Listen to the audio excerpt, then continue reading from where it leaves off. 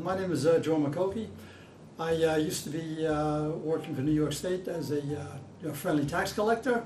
I retired last uh, May 31st and I'm currently uh, enjoying uh, retirement and running. I first met Dr. Holtzman after I had had the subdural hematoma and that was in, I think it was March uh, 23rd, 2015. The doctor told me that I had to wait about another four weeks before I could start uh, running again. So it was slow. The medication really, uh, it wore me down, but it, it also helped uh, my recovery. So it took 11 months, but uh, I was able to do the uh, one mile half marathon May 1st uh, in two hours, five minutes. I looked at a newspaper and I was in the top 44%. And now the next thing on the list is I'm in training for the New York City Marathon, not this year, but in uh, 2017. And I am looking to get a qualifying time of uh, an hour and 40 minutes, and that would automatically get me into the uh, New York City Marathon.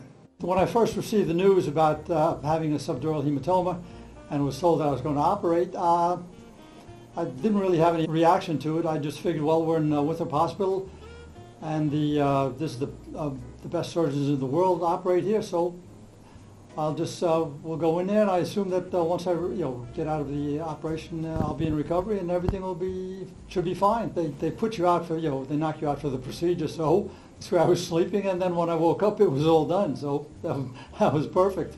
Definitely uh, recommend Dr. Holtzman. He was he was terrific.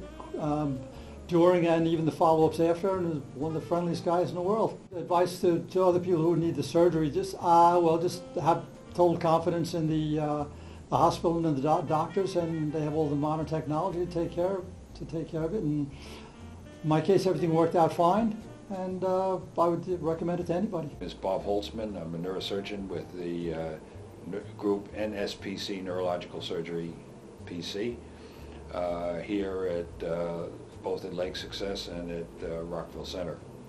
And I've been practicing uh, neurosurgery since uh, 1977. I actually also did um, uh, training in neurology and have boards in both neurology and psychiatry and in uh, neurological surgery. Uh, Mr. Kouki uh, presented himself at the Winthrop uh, University uh, Hospital uh, with a uh, left uh, subacute subdural hematoma, uh, a uh, midline shift, and a right hemiparesis. He was taken to the operating room and he had frontal and parietal trephinations and evacuation of the subacute subdural hematoma. There was fresh bleeding at that time. And uh, his recovery uh, and re-expansion of the brain was uh, very satisfactory. He remained in the hospital for approximately four to five days. And then in light of his uh, improvement, uh, and the improvement of his hemiparesis, he was discharged home.